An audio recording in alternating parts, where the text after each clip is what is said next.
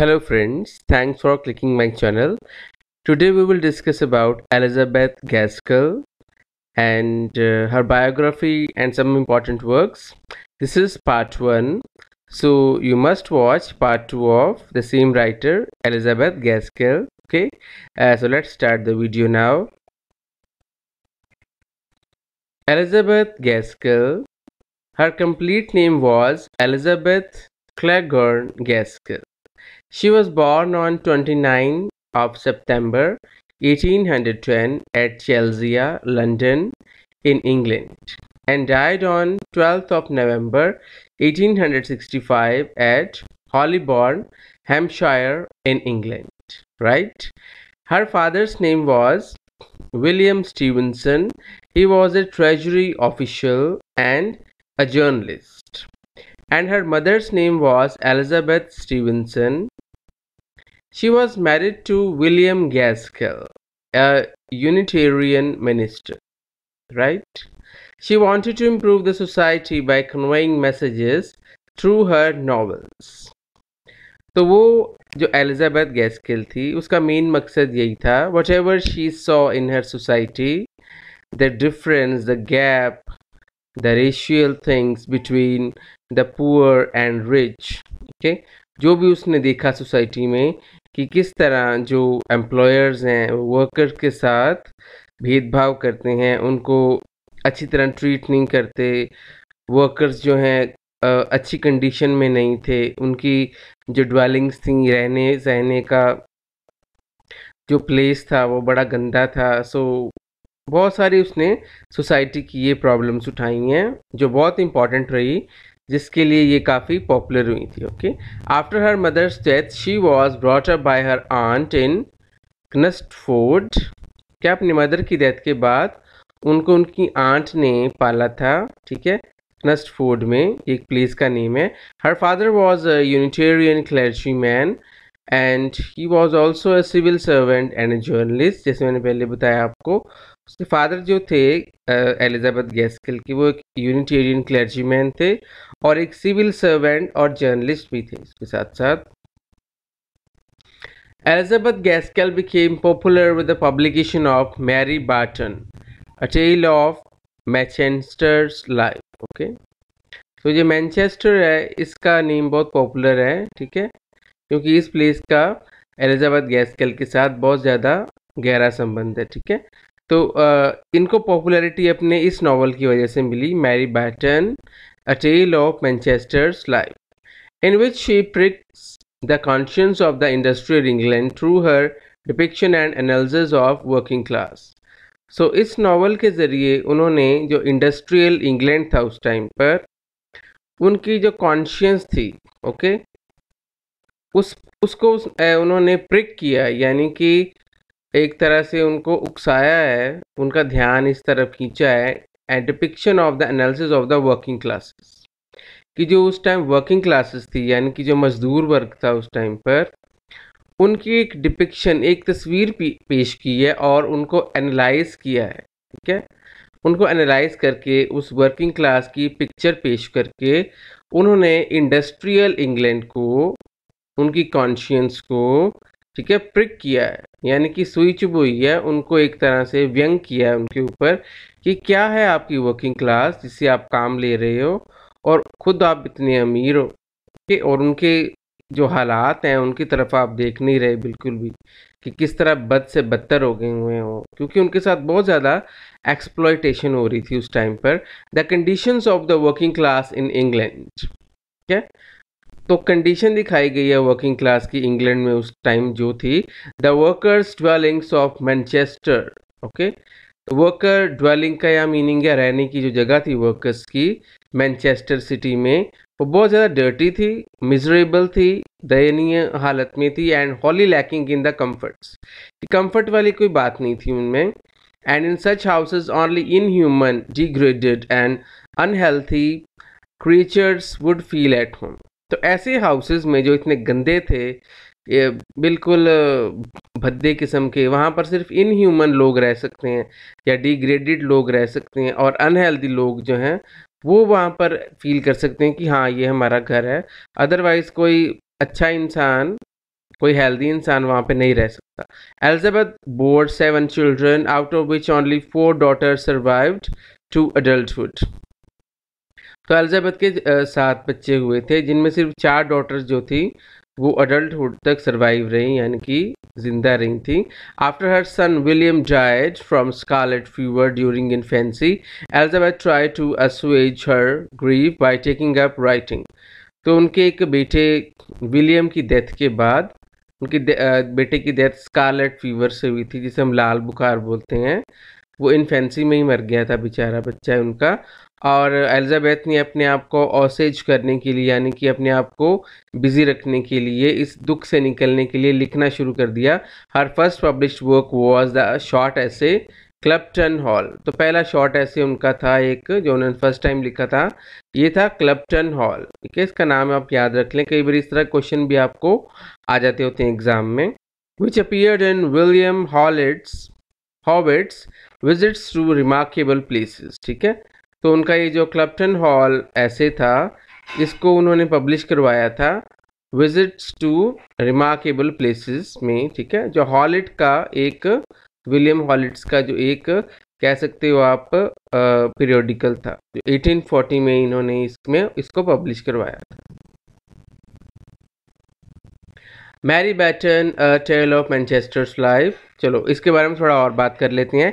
In order to take her mind off her son infant son William death from the scarlet fever in 1845, she wrote her first novel Mary Barton in 1848 and publish is anonymously तो Mary Barton के बारे में मैंने बता दिया आपको कि अपने बेटे की डेथ के बाद उन्होंने अपने माइंड को चेंज करने के लिए लिखना शुरू कर दिया। So this was her first novel आप कह सकते हैं। एंड 1848 में अनोनिमसली पब्लिश करवाया था मतलब बगैर किसी नेम के। Mary Barton dealt with the deleterious uh, living conditions of the poor in industrial towns in Northland, England and earned a great deal of interest and praise.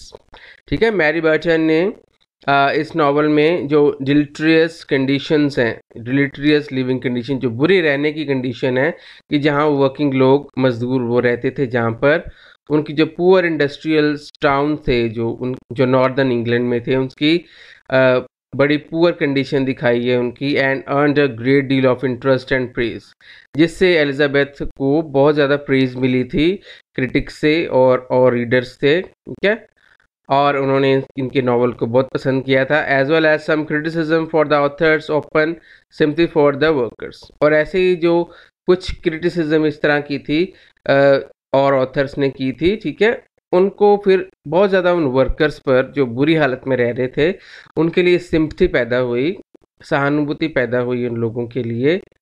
Some critics compared Mary Barton's work to the work of Friedrich Engels ठीक है? कुछ critics जो थे ना Mary Barton के uh, इस Elizabeth uh, के इस वर्क को मैरी बैटन वर्क को इसी नावल को फ्रेडरिक uh, एंजल के एक जो नावल है दो नावल्स हैं इनके एक एलिनेशन है एक है exploitation of the worker historical materialism इन दो नावल के, इन दो वर्क के साथ, इन दो नावल के साथ क्रिटिक्स मैरी बाटन को कंपेयर करते हैं।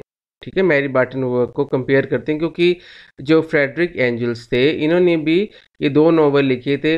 इसमें भी उन्होंने वर्किंग क्लास की जो कंडीशंस होती हैं जो एक्सप्लोटेशन है और उनकी बुरी कंडीशंस जो हैं, वो उन्होंने प्रेजेंट की हुई हैं इन नावल्स में।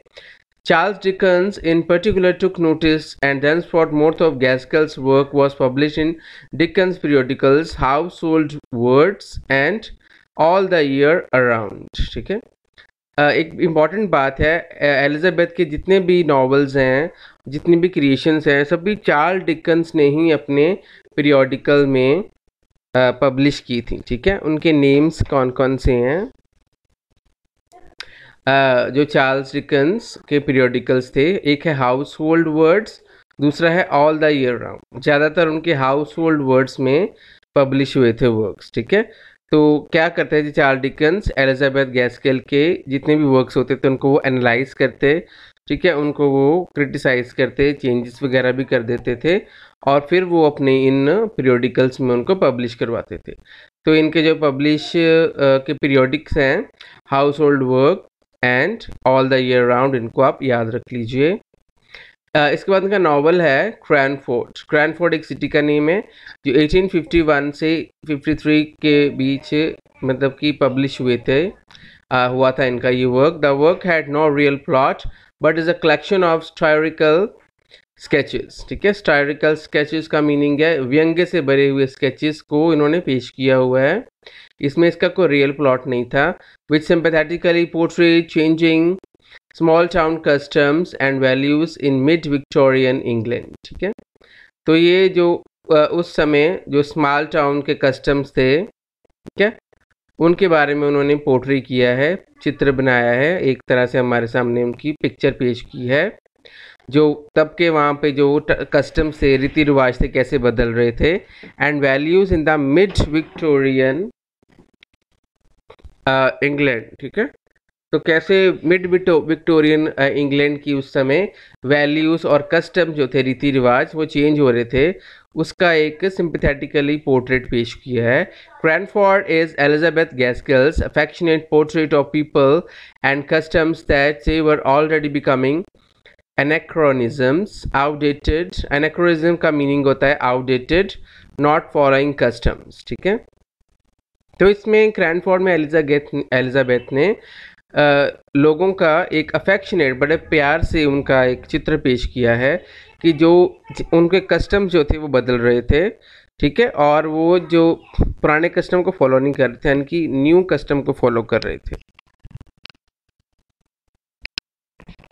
Mary Smith, a young woman, in the, uh, is the narrator of the book, and she manages to keep abreast of all the town happenings.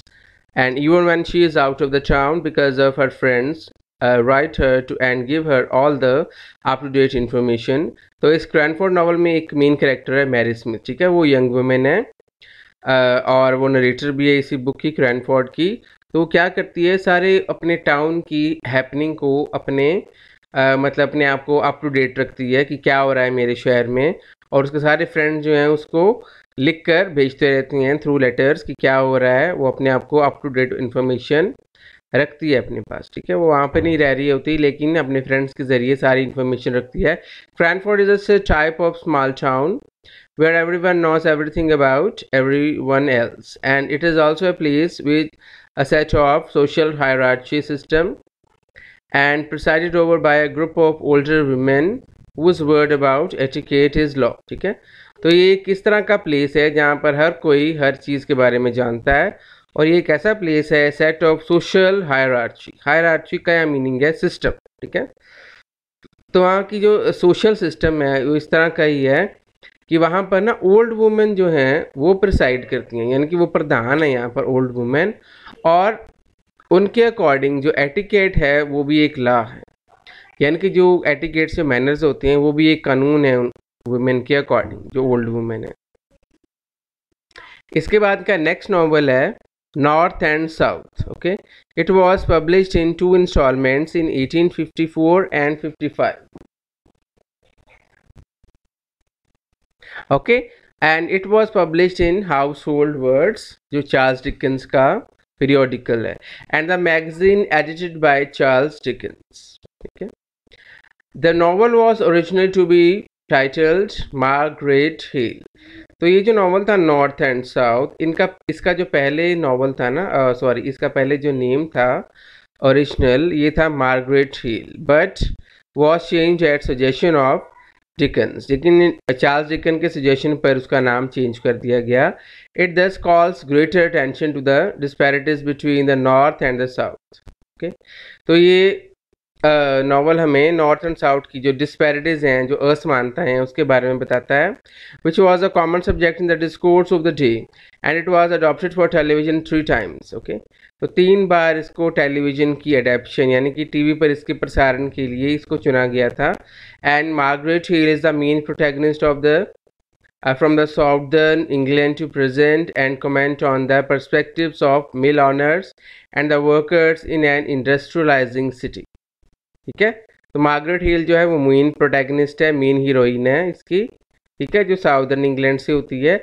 और वो सभी जो पर्सपेक्टिव होते हैं मिल ऑनर्स के मिल ऑनर के जितने भी पड़ाव हैं और वर्कर्स जो हैं, जो इंडस्ट्रियल सिटी में काम करते हैं, उनके बारे में वो प्रेजेंट करती है सारा कुछ। The novel is set in the fictional industrial town of Milton in the north of England ठीक है?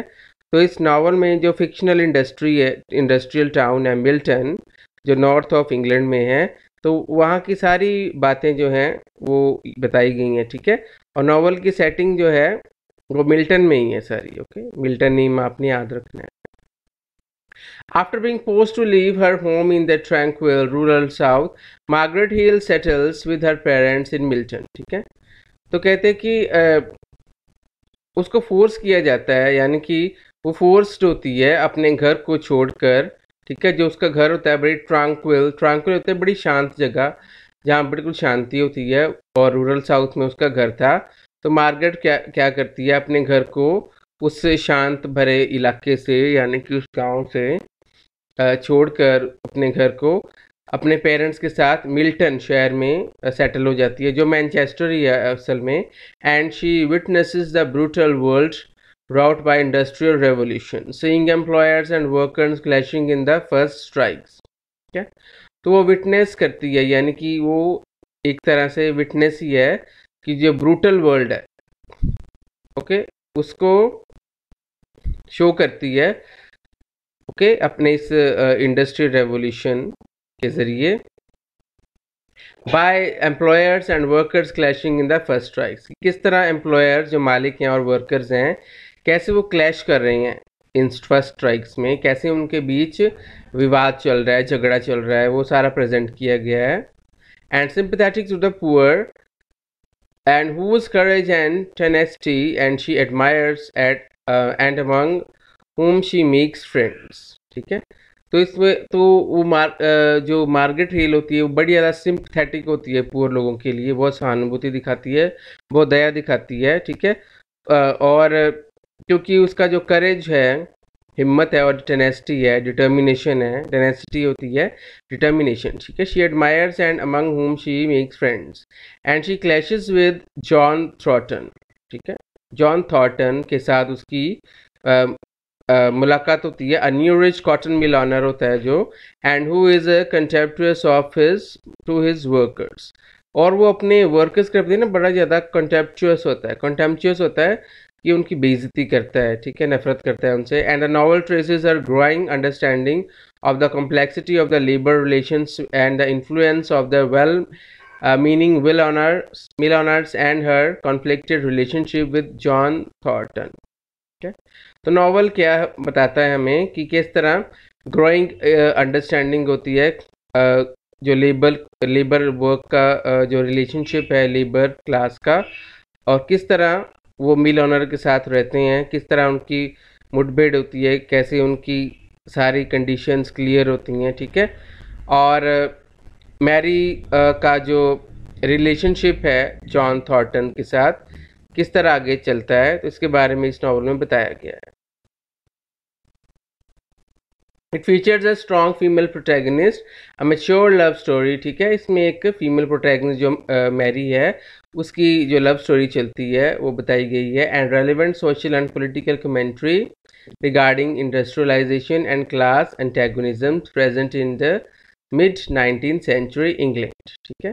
तो उसका जो मेच्योर लव है कैसे आगे जाता है स्टोरी कैसे आगे बढ़ती है इनके प्रेम के साथ भी और सोशल पॉलिटिकल कमेंट्री भी है इंडस्ट्रियलाइजेशन को लेकर वो दिखाई गई है इसमें। क्लास एंटेगोनिज़म्स जो क्लास को लेकर जो एंटेगोनिज़म थे ओके जो भी उनके विवाद थे, जो प्रेजेंट थे नाइनटीन सेंचुरी में, वो दिखाए गए हैं। Fictional industry town of Milton was based on Manchester जो फिक्शनल इंडस्ट्रियल टाउन दिखाया गया है मिल्टन असल में वो मैनचेस्टर ही है। जो जिसका एलिजाबेथ के साथ बहुत ज़्यादा गहरा संबंध है, जैसे मैंने पहले बताया आपको where Gaskell lived with her family जहाँ गैसकेल अपनी फैमिली के साथ रहती थी। ठीक है? सो ये पार्ट वन था, ठीक है? सो पार्ट टू आप नेक्स्ट वीडियो में देखेंगे। Thanks for watching this video इसका पार्ट टू ज़रूर देखिएगा। Thank you God bless you